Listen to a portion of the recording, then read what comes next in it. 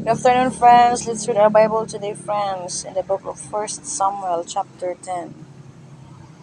Then Samuel took a flask uh, of oil and poured it on Saul's head and kissed him, saying, As the Lord anointed you leader over his, inherit- over his inheritance. When you leave me today, we'll meet two men near Ra- Rachel's tomb, excuse me, at Zelzah on the border of Benjamin. They will say to you, The donkeys you set out to look for have been found.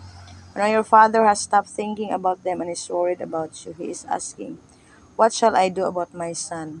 Then you will go on from there until you reach the great tree of Tabor.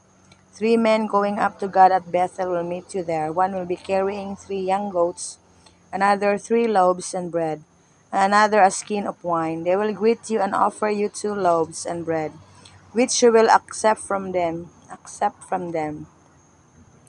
After that you will go to Gibeah of God, where there is a Philistine out- outpost.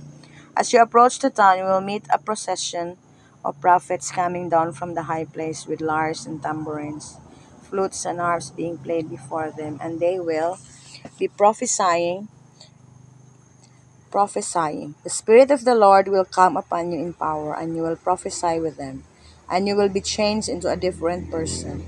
Once the signs are fulfilled, do whatever your hands find to do, for God is with you.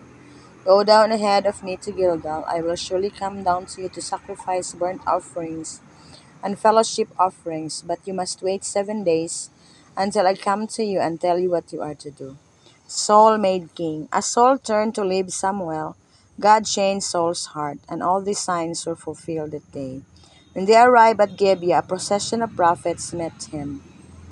The Spirit of God came upon him in power, and he joined in their prophesying.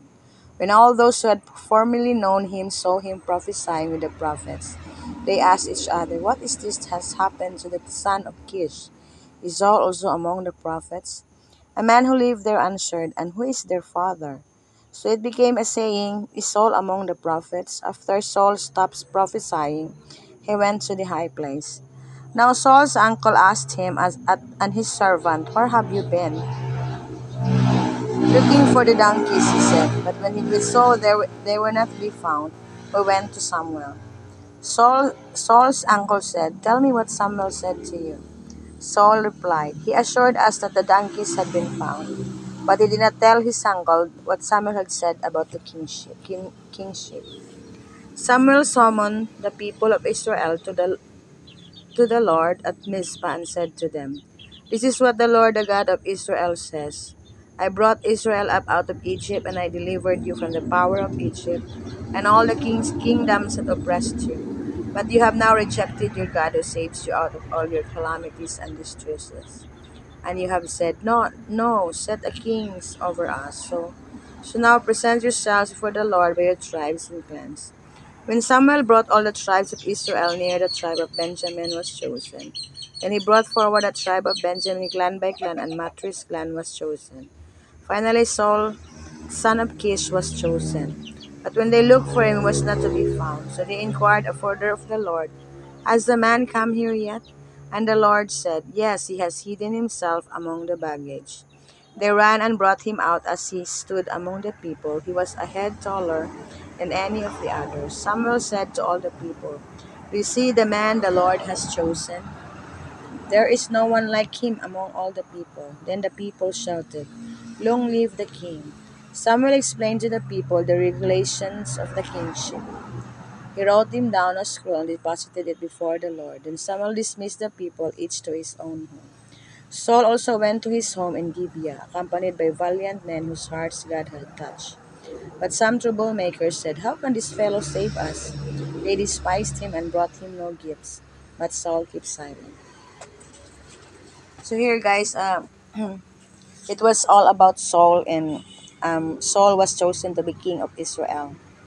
And on that day, um, Samuel um, commanded Saul to many things to as he journeyed to different places, and he he followed it. He followed it and um, obeyed the commands that the, the, that Samuel said to him, and and he was and Saul was chosen as a king of Israel. And because he was chosen by the Lord to be a king. Because of um, he was a good man and the Lord was pleased to him and he became king. And the people also were happy because Saul Saul became king and he was a good man and um, obeyed the Lord and loved the Lord.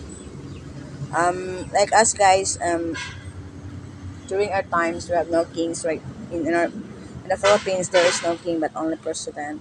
So those those people are they are chosen by the Lord to to govern the people and to lead the people. And also leaders of the church were also chosen by the Lord to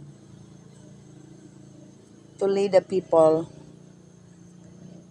to God. And also for us guys we have um different role in, in this world. We are chosen by god in, into, into different roles. And um though we're not kings or queens but we are to really accept what the lord has had chosen for us and to really obey it. So enjoy your role in this world guys and do it with the love of the lord and with the love of the people. Be obedient to the lord and be good to all the people. And so that um, um, God will be will will be happy for us for all the things that um, He has given us and for all the rules in rules of rule the, for the rule that He had given to us in our lives. We have different rules in this world, so enjoy the role you have right now and always ask the guidance of the Lord and obey the good people that are leading you right now. Be wise in listening to other people. Just rely on God and to some good people who are guiding you. So, God bless and good afternoon.